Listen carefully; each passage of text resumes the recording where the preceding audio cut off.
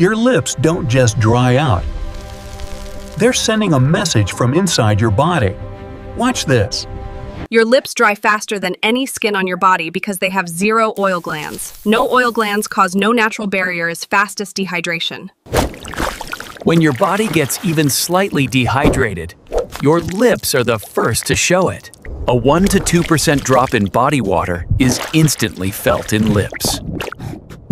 Cold air, dry air, and mouth breathing pull moisture straight out of your lips. Air movement is moisture loss.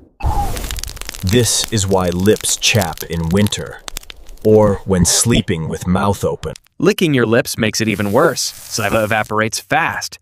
Taking even more moisture with it, saliva enzymes dissolve the thin lip barrier. And sometimes chapped lips are a sign of low nutrients, like B vitamins, iron, and omega-3s. B2, B3 deficiency is cracked corners. Iron deficiency is pale, dry lips. Omega-3 deficiency is rough texture. But here's something most people never learn. Your lips can stay soft and hydrated if you create a barrier your body can't make on its own. Mix honey, aloe vera, and coconut oil. Honey pulls moisture into lip cells. Coconut oil replaces the missing lipid barrier, and aloe calms inflammation. And when you pair this with drinking water and breathing through your nose, your lips heal even faster. But the real magic happens at night when you repair your lips while you sleep. Humid air stops moisture from escaping while you sleep.